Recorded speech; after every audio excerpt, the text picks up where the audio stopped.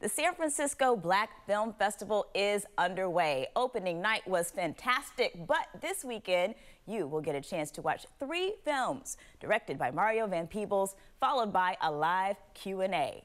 But guess what?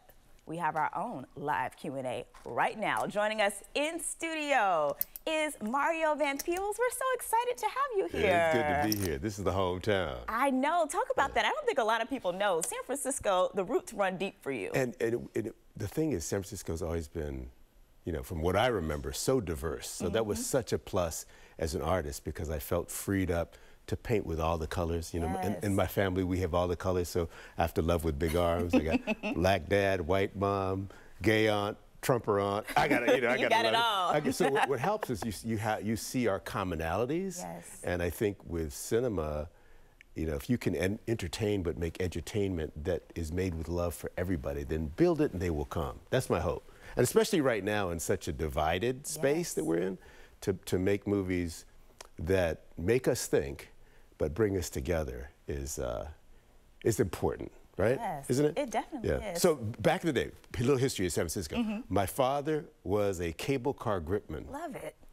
And uh, he wrote a book about it. And I, the supervisor, I guess, was sort of a hater. He said I, he didn't think black folks should read, let alone write a book. So he fired my dad because he said, you look like the kind of guy that might have an accident. Best happened thing that happened ever, because my dad took me to movies. Mm. I was about two years old. I'd sit on his lap and we'd watch movies, and my dad didn't like the way people of color were played in movies. Mm -hmm. And he said, well, heck, I'm gonna make movies. And so he bought 92 minutes of film, mm. but no one ever told him about editing. So by the first time he made his first movie, it was only 12 minutes long. Oh. But he made a couple more, and then eventually got to make his films. He made Sweet Sweetback's Badass Song in 1971. It was the top grossing independent hit. And then 20 years later, his knucklehead son made New Jack City yes. in, in 1991. And from that point on, the Van Peebles family has been in the business of edutainment. Yes, we love that San Francisco is such a big part of that because I think what you and your dad have done is just re really so critical when it comes mm. to black film, and you're continuing to do that. So let's talk about the films that we're going to see at the festival. Okay, so this is the San Francisco Black Film Festival. Yes. Uh, tomorrow, well, let's see, oh, this is a perfect uh, Father's Day flick. Yes. Outlaw Posse, because when I did my first Western Posse, I had my dad, but I didn't have kids. Mm. Now, with Outlaw Posse, I didn't have my dad with me, but I had my kids. So my son, Mandela Van Peebles, who plays my on-screen son in the movie, is Ooh. in it. And he, he came to me, he said, Dad, with this movie, with this Western, we don't have to fake the love. It's real. Oh, we don't have to fake the drama, we just have to reshape it. Mm.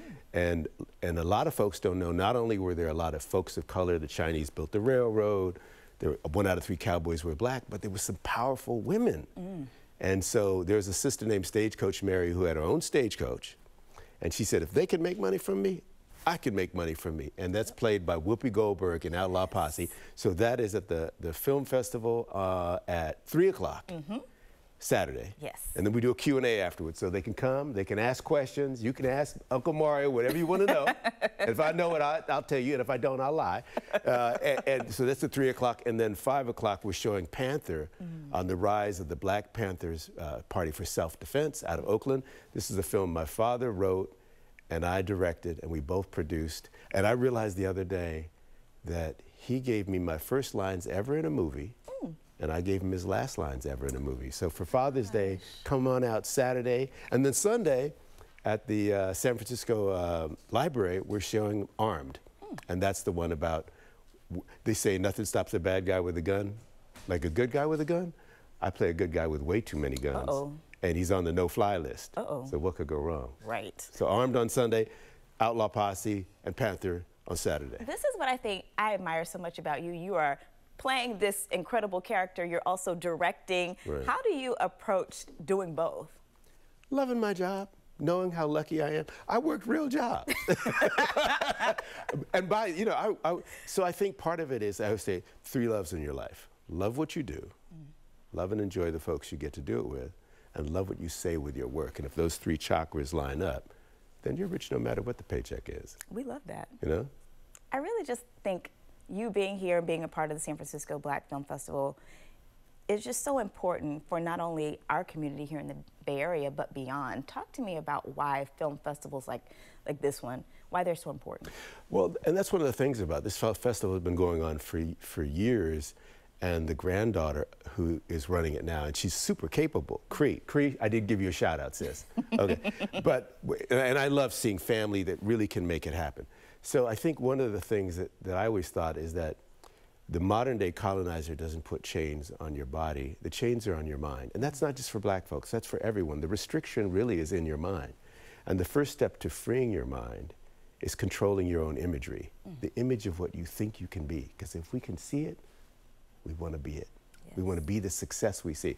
So you have a chance to lead through cinematic example, right? And we, the Panthers used to say power to the people. Well, if knowledge is power and you can bring it through cinema, then bring some power to the people, bring some love to the people, and entertain them. Yes. Make it exciting.